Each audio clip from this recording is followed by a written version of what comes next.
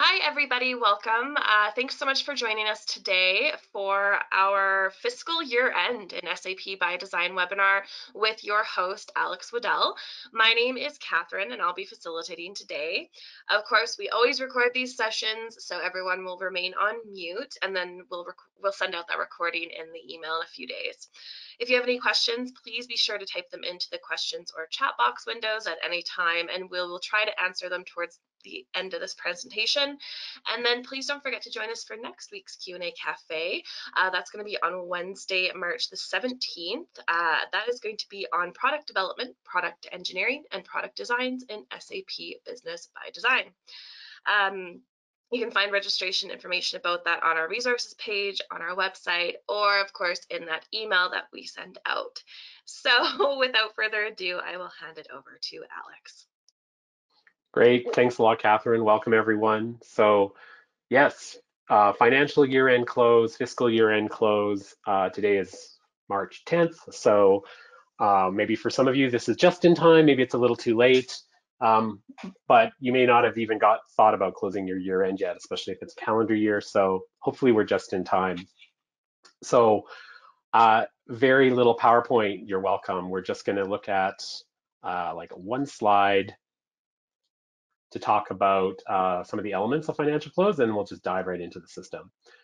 So obviously, what's the purpose of the financial close? It's to close your fiscal year to any further entries, uh, roll your profit and loss to retained earnings. That's the ultimate thing. There's a few events that are happening uh, in between that, and we'll talk about that in this session.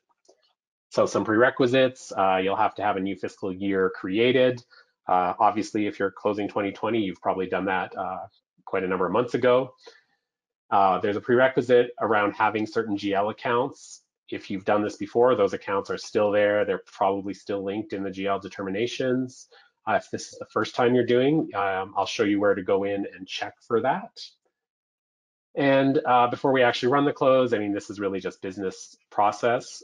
Uh, all accounts, you know, so your entire balance sheet, you're going to obviously want to make sure everything is reconciled and all your manu manual vouchers are completed in the system.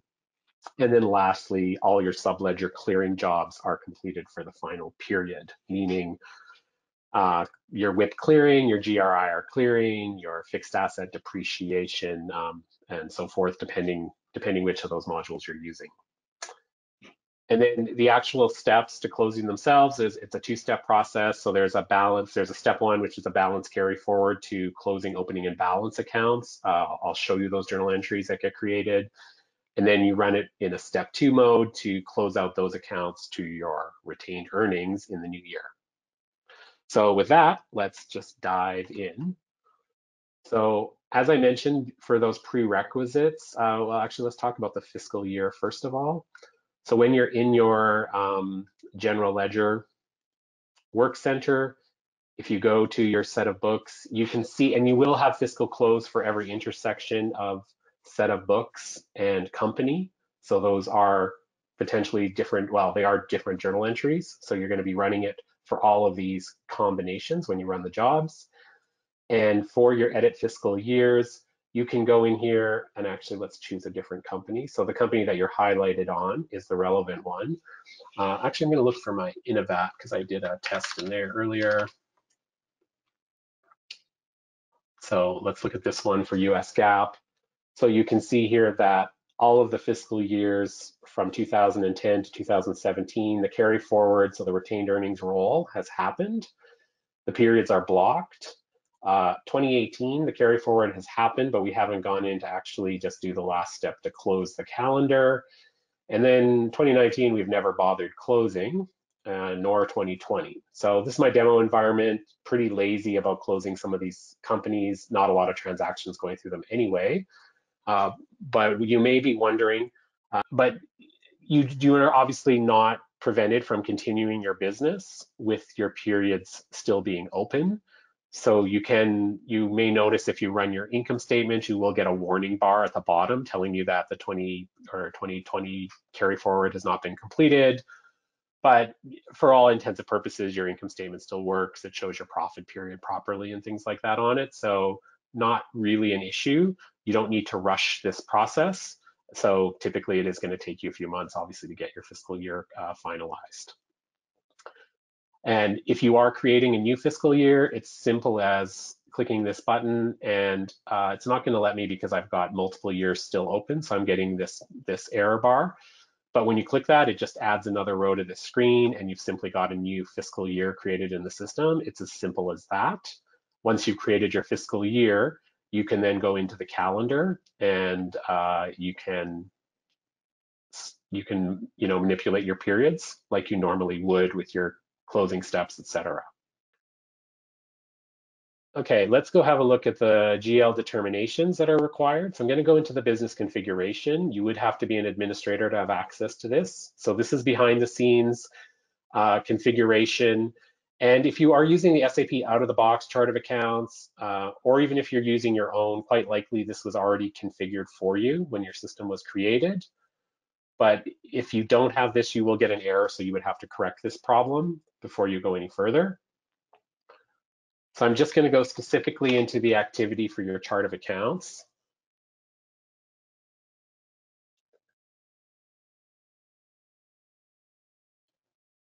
First, we're going to pop into the actual chart of accounts screen.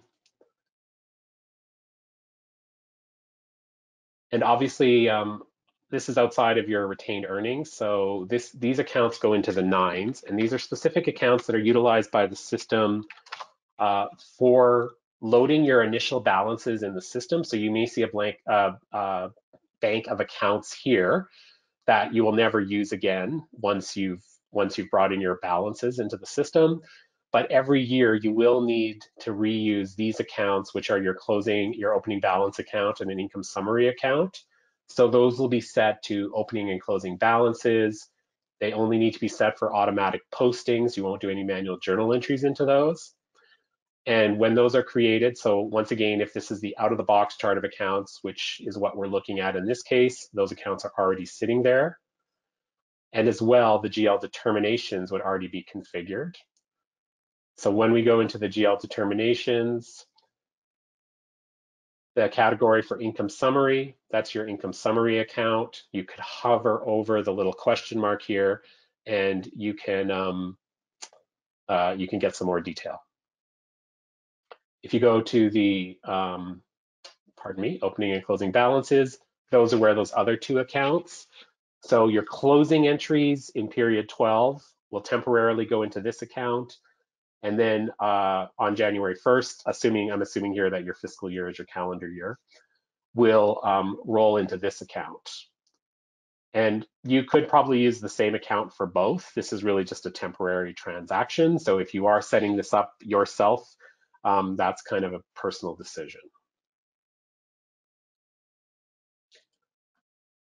So before I dive right in there, maybe I will just spend a moment uh, talking about the closing cockpit. I don't necessarily want to go into too much detail. We could probably have a whole cafe on this functionality, but your closing cockpit um, will include, you know, in your period 12, your final uh, closing activities as well. I have created one here. So if I go into the 2020, so your closing cockpit is optional. It doesn't um, it doesn't specifically run the job, but it's more of a to-do list, a reminder list, and it can shortcut you to some of the jobs. So when you set up a closing cockpit in the system, uh, out of the box ByDesign has a whole bunch of tasks. They try and put them in order of dependency in some cases, they may indicate if there is a prerequisite here, whether or not it's been fulfilled. But it's as simple as checking off the task once it's done. So the nice thing about this closing cockpit, if you use it well, if you have a large organization, you're a controller and you have multiple accountants that are responsible for different areas, you can assign specific processors to that task. So for example, to do the withholding tax return, to do certain adjusting entries, and when they've completed the task and they flag it as completed, you will then see your progress bar as your month end gets finished um, for that company and that set of books. So you would have a separate cockpit for each one. On this dashboard, you would kind of have an idea of you know where you're managing to getting your close done. If we go back into that cockpit, uh, this is also completely customizable. So you can remove tasks that don't pertain to your business. You can reprioritize tasks and you could also insert manual activities. So this is useful just as a reminder as part of your month-end cockpit. You may not, you wouldn't have the ability to insert a manual activity that drives to a specific part of the system, but the activity could just be a reminder. So something, perhaps it's something outside of the system, like for example, you know, print the financial statements and create the binders or whatever it is that you need to remember to do by a certain uh, date, and you want to include that in, feel free to add those activities order them as you want, monitor the progress.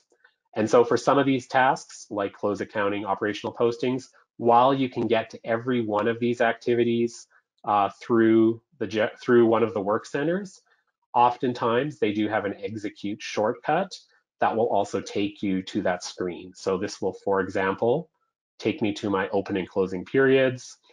And now we have, um, we can view our calendar and we can actually see period 12, and we are going to want to make sure that we've got this period status set in a proper way that we can get all of our closing entries. So that's the widest uh, step in the calendar period. Uh, one other thing, so with this closing cockpit, some of these tasks um, are, are, not meaningful for you. So as, as you mentioned, you could remove them. If we go to page two, so there's a bit of an overflow, uh, those are the ones relating to printing out your reporting. So here's where we get to the balance carry forward. So that's the job that we're going to focus on running uh, in today's cafe uh, to actually do your retained earnings roll.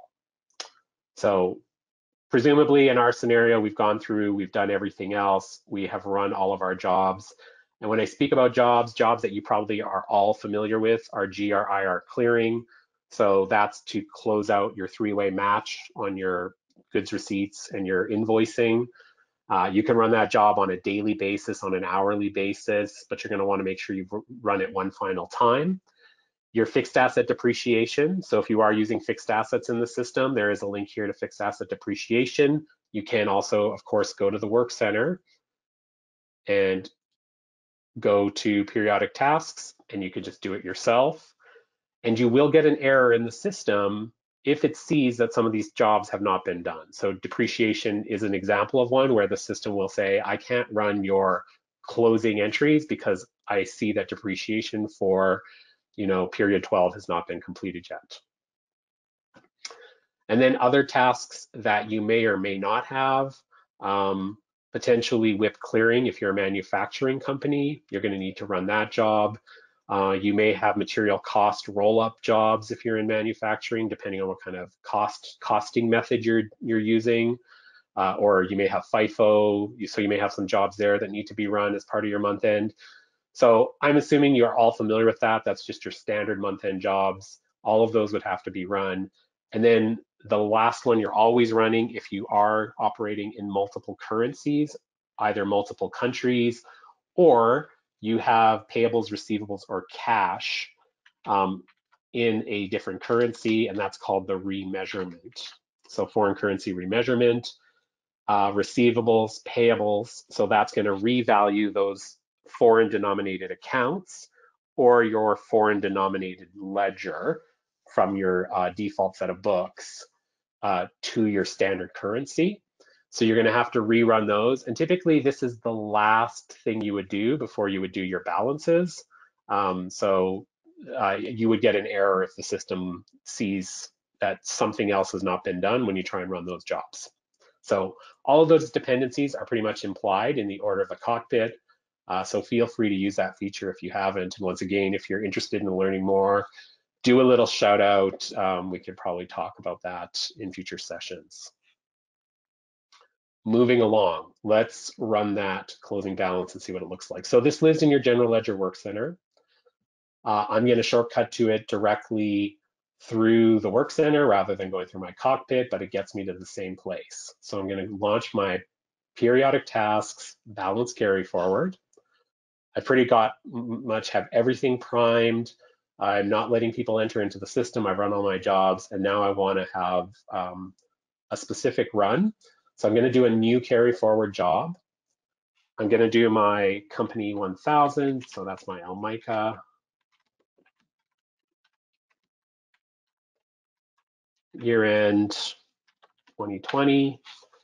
And I strongly recommend you run this in test mode first. So running it in test mode, it will generate any errors. Like for example, if your fixed asset depreciation hasn't been completed, you'll see that error even if you try and run it in test mode. I'm going to be bold and run it in production because I did run a test yesterday and it worked. So we'll hopefully have success today when I run it in production. Let's see, actually closing uh, the 2019 books. So this will take a few minutes to run. Uh, when it does, it's going to give us a log file so we can go in and we can explore uh, what's happened. So good news, I get the error or the message at the bottom that it's without error. And I can immediately go into the log here. Although because this isn't a test run, my journal entries have already been created. So I could also just go directly to uh, the journal entries. You'll notice that I did not indicate a set of books, meaning that I was just doing my, all of my sets of books at the same time for that company. Once again, that's optional. You could close each books uh, as a separate job, totally up to you. So we're gonna go into our US GAAP. Um, and we're going to see that the system has you kind of some information on the general tab at a summary level of all the different things that it did. So the number of accounts that have been touched, uh, the total you know net effect of that change. And uh, here's the data selection. So this just reaffirms what we chose. So if you don't remember which company you ran or which set of books, you can go there. If you did get any messages, this is where you would go to see those messages, potentially error messages like that you have not run a prerequisite. And then finally, if we go to the postings, then we're going to see, and it's going to show us all of your accounts and then all of the accounts that kind of got touched. So it breaks this into a few different phases, your closing balance sheet, your opening balance sheet, your P&L, and then ultimately what you care about is your journal entry. So this is the net effect on your journal entry. So you are gonna see here that the system is showing all of the accounts with balances that need to be you know, manipulated and everything is flowing in and out of those nine accounts. So those are those accounts that I showed you in, in the chart of accounts that start with nine that relate to opening and closing balances. All right, so here's probably where I'm going to anticipate your question. Why is the system doing this? I don't honestly know if I have a good answer for this. I have worked with uh, different ERP systems over the years, and I have seen this concept before where the system kind of breaks it into phases and it washes everything through an opening and closing balance account before moving it into retained earnings. That's what SAP is doing. I have also seen the other one where it doesn't bother with that. It just moves it um, directly into retained earnings. Uh, so I don't have, so the system, even though it's income, or sorry, even though it's balance sheet, it's washing all of that stuff into a closing balance account at 1231. And then at 0101, it's going to put it back on the balance sheet. So ultimately, from your balance sheet, there is a net effect of zero when you run your reports. Everything reappears on your balance sheet. Ultimately, what we care about is that your P&L closes out to your retained earnings. Um, but as part of this job, it's just doing it to those clearing accounts. Okay, so if you're with me so far, I assume everyone is. I don't see any other questions popping up. I'm going to close this. Maybe just to reinforce it before I go back and run my second job, I'm just going to pop into my general ledger journal entries and we'll just have a look at today's postings and so what we'll see is all of those journal entries. When just try and understand here, you're gonna have to run like a GL accounts report. Uh, you're not gonna wanna look at a journal entry report because you're gonna get a lot of uh, different journal entries. So one journal entry for each GL account that's been touched. So that job created a ton of entries here. And that's just for my small demo environment that probably doesn't have a lot of activity in it in 2019. So I'm going to go back to our balance carry forward, periodic tasks. So here's that 2019 job that I ran. It was ran in update mode, not in test mode. And I'm going to try, oh, sorry, it's actually not those ones, the one I just did. Here we go. That's my test that I did.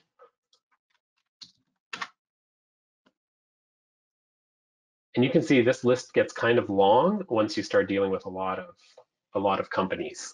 So you could try and find the job that you ran and you could then do it again through the copy function. You could also just run it from scratch. So it's totally up to you. So I'm going to do the same thing here, Almika year end 2019, and this is step two. So I'm also going to do this, just going to go for it. I'm to choose our Almica company. I'm not going to target a set of books. And this time I'm moving on to step two. These steps are both mandatory. And the year I'm carrying forward was 2019, and we'll start that one. So now we're seeing a very simplified journal entry. So when you run that step two, now it's moving it out of that closing entry account and it's just moving it into your retained earnings for your current year. So that's the adjustment that we're seeing here. So this is the step that's ultimately getting you to your retained earnings. Um, you don't need to do those all at the same day, um, but just so that you know, this final step is, it does lock things down. So you see there is a reversing entry here. So other accounting systems, SAP Business One as an example, lets you roll your retained earnings and then you can continue to do subsequent entries. So you could have some, you know, last minute auditor adjustments, drop those into Business One. Uh, and if you are coming from a Business One background, you probably already know this. So that's kind of a nice feature. You can just actually run retained earnings roll again, and it'll just pick up those delta entries. That is not how this system works. So this is finalized. Once you've done this entry, you're not going to be able to perform other entries uh, to your financials for the year that you're impacting.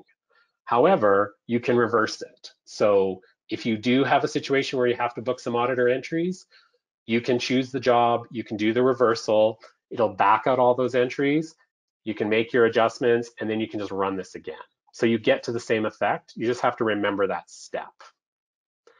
Uh, and, and, that applies to some other jobs in the system as well. So you may be familiar with that if you're running foreign exchange in the system. Foreign exchange is very kind of picky, right? It has to be the last thing that's done. If you perform your revaluation and then you try and put in, you know, a late journal entry or a late supplier invoice after that, uh, the person who enters it, as soon as they put in a posting date on that period, they're going to get a, an error message, a hard stop that says, I can't create this entry because foreign exchange revaluation uh, or remeasurement has already been completed. And if that's the case and the entry is, is uh, on purpose and required, you're gonna need to reverse that foreign exchange, post your entry, rerun it again. Same process for the year-end carry forward. Not really a big deal, but just keep that in mind. So that's really the steps. I mean, once you've completed that, you are going to go into um, one last step. So of course, I showed you about closing. I'm assuming you knowing about closing periods. So obviously you would then close, you know, period 12 of your company. Uh, let me just target my company here. I think I was looking at Almika. I've got lots of set of books here. So I could just filter on my year. you've probably noticed in the system, you can't have a closed period with open periods um, preceding it. So you can see all of my 2019 hasn't been closed. So I'm not actually going to be able to do that for you here. Um, but your last step would be to just close the period, assuming all of your other prior periods have been closed. And then finally, you would go back into your um, set of books and you can go into your fiscal years and your very last step is to close that fiscal year as well. So you've sort of got two gateways there. If you do need to reopen things, you'd have to, you know, once again, that auditor's adjustment, reopen fiscal year, reopen period, reverse entries, do correcting entries, rerun year end, close period, close year. So kind of working back and forth. So overall, I mean, there's not really a lot uh, uh, to it. There is that that little bit confusing two-step job, so be aware of that.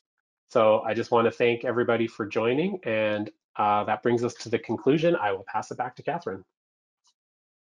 Awesome. Thanks so much, Alex. And thank you so much to everyone for attending our webinar today. Uh, please make sure that you join us next week as well uh, for our Q&A Cafe. Again, that's on product development, product engineering, and product designs in SAP Business ByDesign. With that, I hope everyone has a lovely day. And thanks so much again to Alex for hosting.